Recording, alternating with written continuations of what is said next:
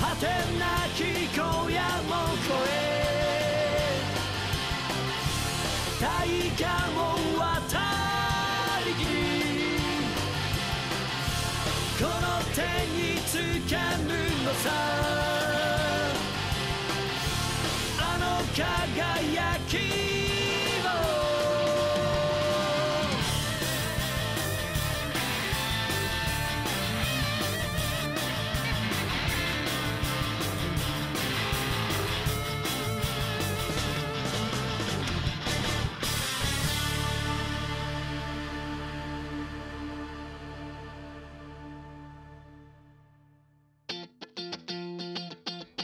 さあ今週もやってまいりました。週刊バイク TV 皆さんいい陽気ですよ。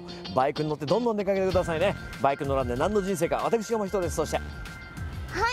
このお天気ずっと続きますようにバイク大好き平島夏美です。はいということでございまして、はい。えー、なんかあったかいですね。あったかいですね。あったかいです。よかったです。で今回のテーマですが、えー、東名新東名静岡、は味覚の旅、味覚ですか？また今回も食べるんですね。いやーあのねもう減量がかなわない。あれ？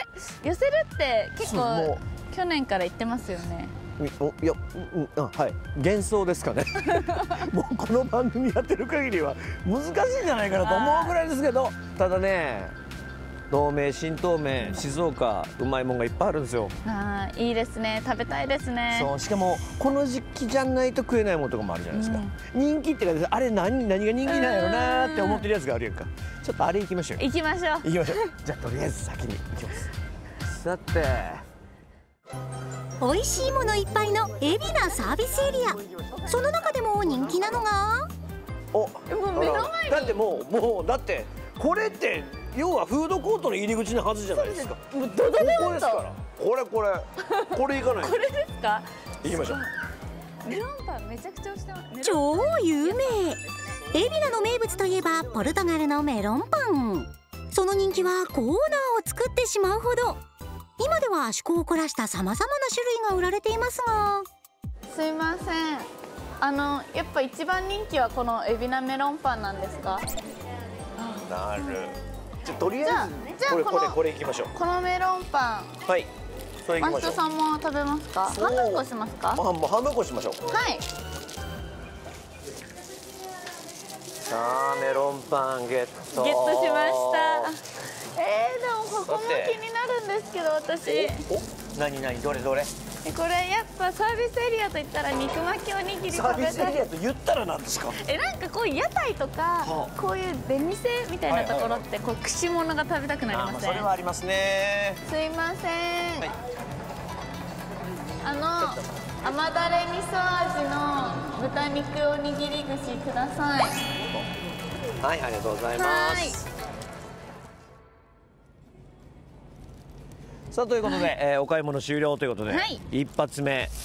えいポルトガルのメロンパンと肉巻きおにぎり。甘味噌だれです、はいということでございます。じゃあどなっちゃん気分的にはどっちからいきますか？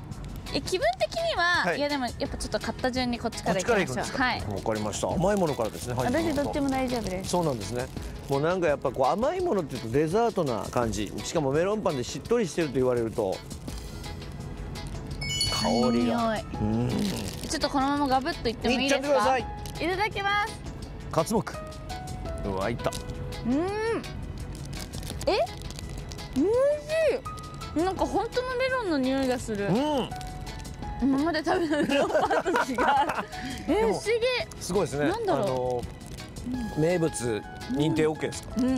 はい。名物認定、はい。すごい、ね、ここでしか食べれないメロンパンだと思います。素晴らしゅうございます。はいじゃあいただきますはい。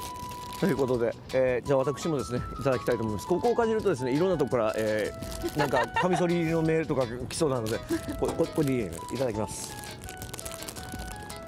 うわほんまにしっとりよ、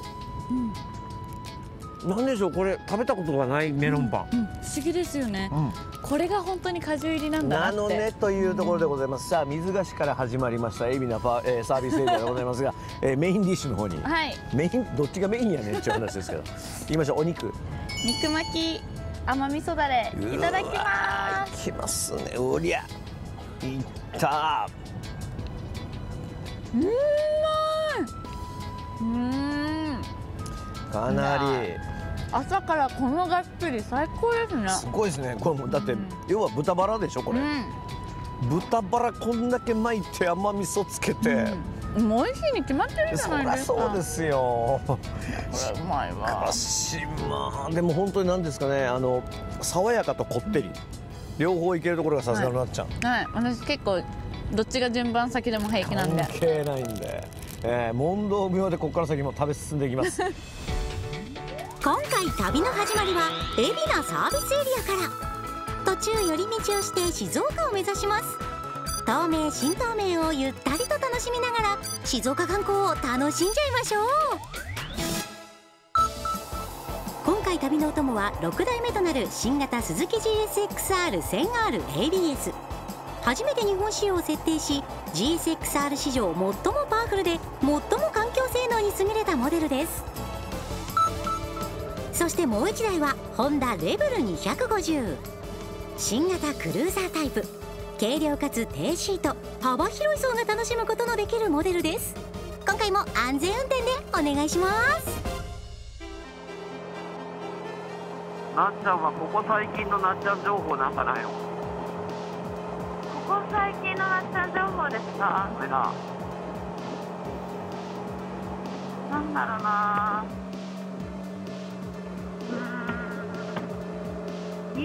5歳にして一人暮らで始めようかなと思って物件見てるぐらいですかね。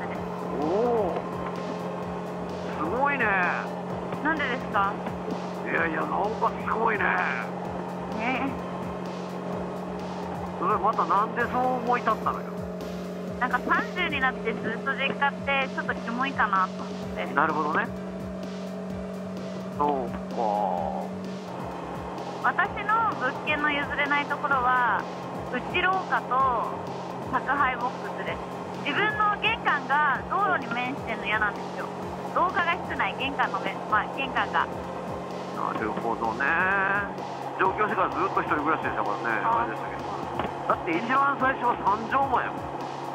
ああ三畳間はちょっと閉めなさそう。三畳一間で風呂なしトイレキッチンあり普通のお家に建て増ししたみたいな。ところに住んでたから。すごかったよ。そこでこう寝ててグラグラグラって言われて地震やと思った。らただ目の前をバスが通ってただけやったっていう。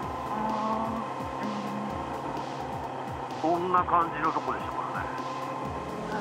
難しいですよね。いや本当になんか自分の願いを全てを叶えてくれる。なんかねちょっと遠くなるといいんだけどいやこの物件のまんまでこの駅だったらいいのにとか。そうね。それは。あるあるでだと思うんですさあ続いての目的地中井パーキングエリアに到着ですよ。天気もいいし寄り道しながらのツーリング楽しいですね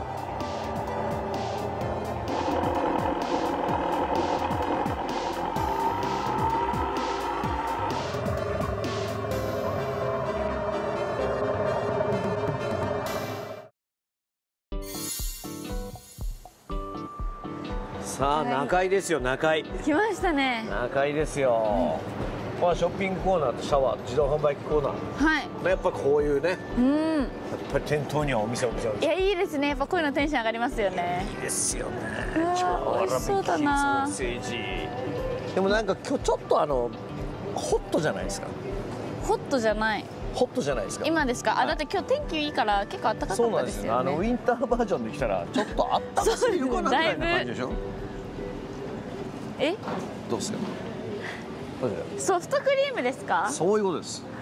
もうツーリングといえばソフトですよ。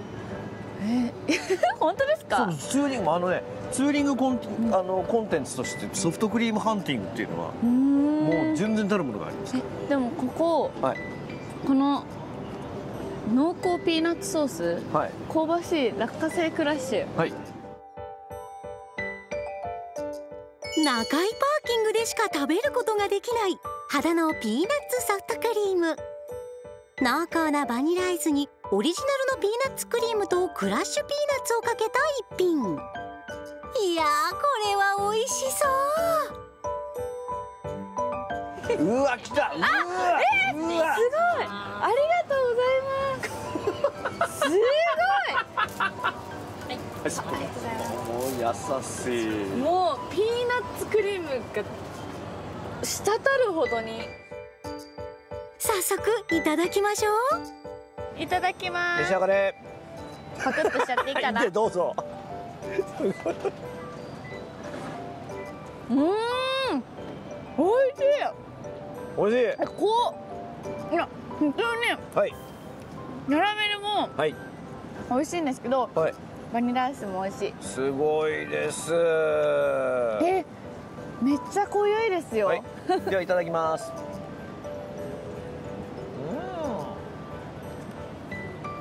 うん。うん。うん。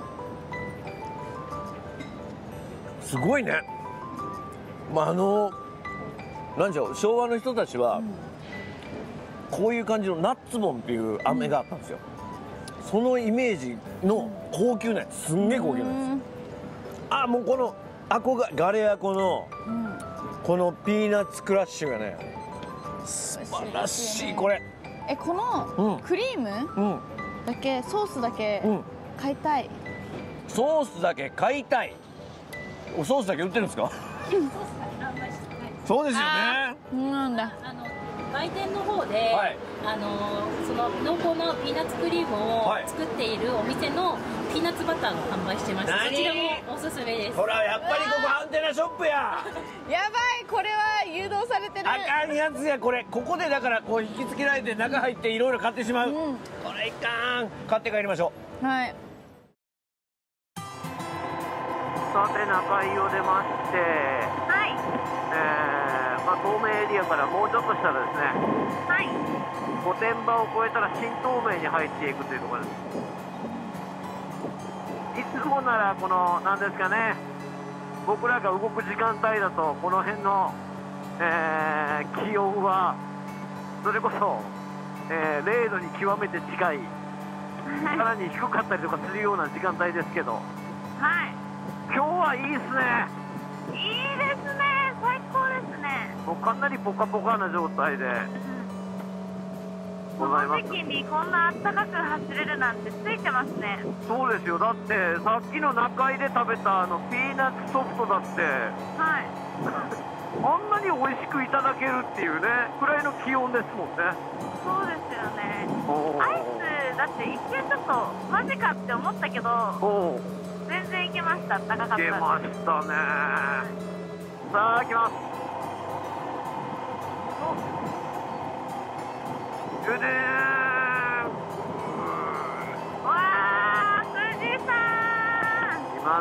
やっぱり上がりますな上がりますね。上がりますなさっき海老名からはあんなにちっちゃかったのに。そうですよ。こんな大きく富士は日本一の山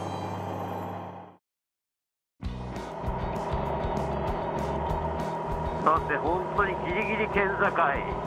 足柄を越えてしまえばもうそこは静岡。はい。静岡県内に入った途端にお茶畑。おおお茶畑。静岡といえばのお茶。お茶。ねまあここから先どんどんどんどんそのお茶率が上がってきますけれど。静岡ってお茶あとサッカそうですね。お茶サッカーあとスイカ。ーあースイカ。スイカメロン。あとはイチゴ。おおいちごはい。あとは、えーバイク。バイクも。そうですへもうあのーなんでしょうね。バイクのふるさとと言っても過言ではないですよ。ええそうなんですか？そうなんです国産オートバイでふるさとですね。今でもメーカーとしてはほら今回お借りしてるこの鈴木さんなんかはもうドンやっぱありますしヤマハさんもありますし本田宗一郎さんの生まれ故郷も静岡県浜松ですけどねそっちは。基本的にはもう静岡といえばもう俺たちはやっぱり何を何を置いてもバイクのふるさとなイメージですよ。あのそういう工場見学とかも行ってみたいね。あー工場見学楽しいですよね行ってみると。行ってみると楽しいですよ。だってね自分たちが乗っているバイクが生まれるところが見れたりするわけですから。あわあ見事な富士山。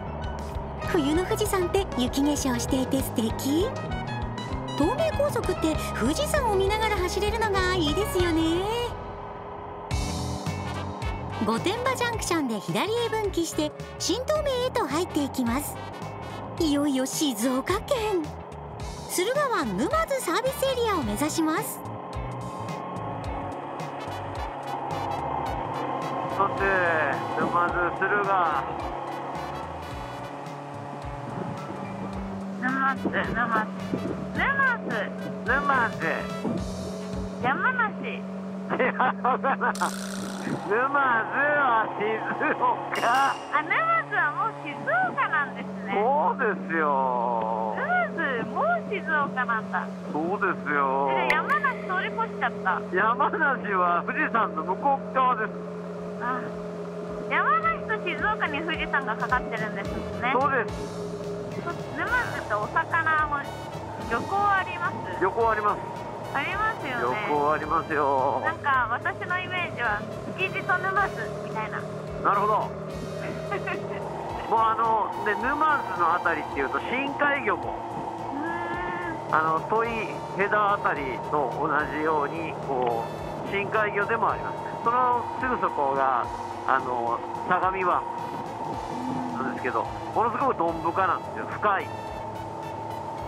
なのでそこではもう本当にさまざまな、えーお魚が取れる。さて駿河湾沼津サービスエリア。に見山。さあ来ましたな、駿河湾沼津。着きましたね。ねえ。もう綺麗。そうなんですよ。やっぱ人気なんでここも。そうなんですあもうねもう新東名でも屈指の、うーん。えーサービスエリアですから。今もなんか駐車場も今広げてる感じですもん駿河湾沼津サービスエリアで食べるべき一品とは？ましたね。もうこうだってもう一角こうですもん。これも人気店ですよ美味しそう。さあということです。いらっしゃいましたここ。ってありがとうございます何が一番人気なんですか？一番人気がこちらの卵タップリンというプリンなんですけれども。これはいブランド認定された濃厚な日の出卵をふんだんに使ったプリンになっておりましておでもねちょっとね他にもちょっと気になりませんありがとうございます。これこれこれだって沼津サービスエリア。下り下り限定やあ本当だ。上り茶じゃないんですか、そうですね。当店工房をご用意しておりまして、はい。工房で一つ一つ手作りで。ここで作ってるんですか？はい。もう下り線限定です。いいこれも限定弱いですからね。言っとかないこれ言っときましょう。よこれも行きますか？行きましょう。これも行きましょう。美味しそう。それでは眺めのいいテラスで早速いただきましょう。出てまいりました。可愛い子ちゃんたち。卵たっぷり。たっぷりんですよ。出しちゃいますね。出しちゃってください。うわ可愛い。これが陶器やっていうところがまたね。しかも形違くないですうか、ん。あほんまやね。はいなんかいやこれは可愛いわ。ですね。はいどうぞ真人さん。さあいただきましょう。乾杯。乾杯。うわー可愛い。いただきます。うわ。プルプルだ。もうなんか卵濃い感じやな。うーんおい。しい。おいしい。おいしい。いただきましたこの下の方にカラメルもあります。はい。そう。っすか。滑らか。これ美味しいね、うん。これは美味しい。これ美味しい。これなんかはい。お母さんにあげたい。いやでなんかここでなんかちっちゃい草とか生やしてそう。やってそうや。やってそうじゃないですか。やってそう親やりそうですよめっねちゃやってそうやすごいですね。ペロって食べちゃいました。そうですね。あっという間ですあっねという間。これはさあそしてはい。おかわりです。てこちら。コロッコロシュークリーム。いすっごいですよ ではいっちゃってください。ただきます。いきますね。うん。まこ黄色。え？黄色。濃ゆい。濃ゆい。これは濃ゆいおいうんおいしい。おいしい。おおいしいねこれ。なんだこの中身？ダイレクト。あこれだけでいけます。これこれだけでいけますわ。世界でいろんな食レポがあると思いますけどペロッと舐めてこれだけでいけますわね。革命ですよおおいカスタードクリーム美味しい。あのこんなに溢れ出そうですもん。ね。これはうまいわ、まあなっちゃんに騙されたと思って。うん。これだけでいける。これだけでいける試してもらいたいですね。どうぞ言ってあげて言ってあげてください。おすすめ。あこれだけでいけます。さあ、えー、駿河湾をバックに皆さんもこれだけで行ってみてください